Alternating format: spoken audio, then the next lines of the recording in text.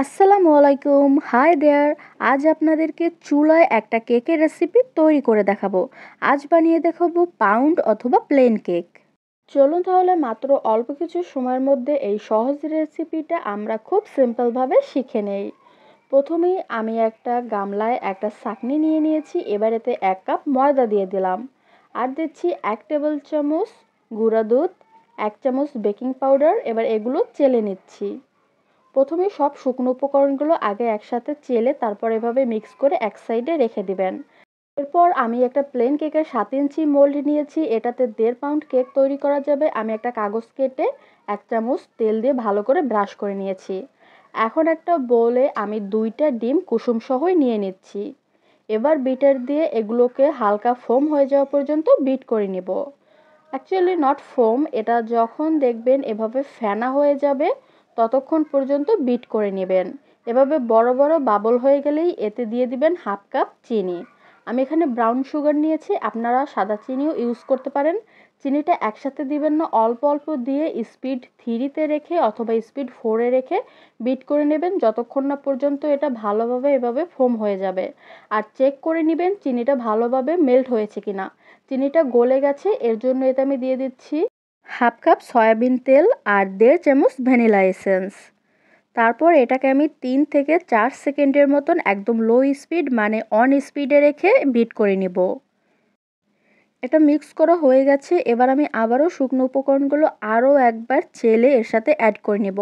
পুরোটা একসাথে দিব না, অর্ধেক অর্ধেক চেলে দিয়ে বিটার দিয়ে মিক্স করে নেব।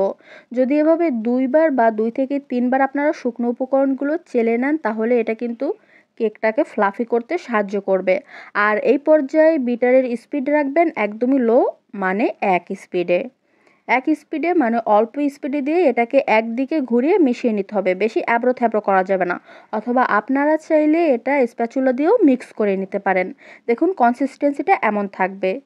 মোলে ঢালার সময় ভাজ হয়ে পড়লেই বুঝতে হবে যে এটার কনসিস্টেন্সি ঠিক আছে। চারবার ড্যাপ করার পর এটা থেকে বাতাসটা বের করে দিয়ে আবারও কাঠি দিয়ে আমি একটু এক্সট্রা বাতাসটা বের করে নিলাম। এরপর চুলায় আমি একটা সসপ্যান দশ মিনিট প্রিহিট করে নিয়েছি, একদম লো আছে ভিতরে একটা স্ট্যান্ডার্ড কাগজ দিয়েছি আর ঢাকনার ছিদ্রটাও কাগজ দিয়ে অফ করে দিয়েছি। মোলটা বসিয়ে দিলাম, ঢাকনা দিয়ে দিলাম, এবার আমি এটাকে 30 মিনিটের মতন একদম লো আছে বেক করে নিব। আর এই 30 মিনিটে একদমই ঢাকনা তোলা যাবে না। ভিউর্স তিরিশ মিনিট পর ফিরে আসলাম। দেখুন, আমার কেকটা পারফেক্ট হয়েছে, ফুলে উঠেছে, আর ভেতরটা একদমই কাঁচা নেই। আমি তুলে নিয়েছি, এবার এটাকে গরম গরমে আমি মোল্ড আউট করে নিচ্ছি। প্লেন কেক গরম গরম মোল্ড আউট করা যায়, এতে কোনো প্রবলেম হয় না। আমি একটা ছুরি দিয়ে চারপাশটা ছাড়িয়ে কেকটা ঢেলে নিলাম। দেখুন, পিছনটাও কিন্তু একদমই পারফেক্ট হয়েছে। কি, দেখতে কি বেকারি কেকের মতন হয়েছে, নাকি তার থেকেও ভালো হয়েছে? অবশ্যই কমেন্ট করে জানাবেন।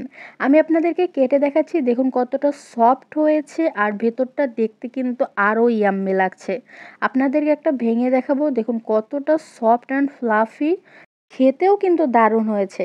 এই রেসিপিটা ফলো করে একবার হলেও বাসায় এই রেসিপিটা ট্রাই করবেন। সবাইকে অসংখ্য ধন্যবাদ ফুল রেসিপি দেখার জন্য।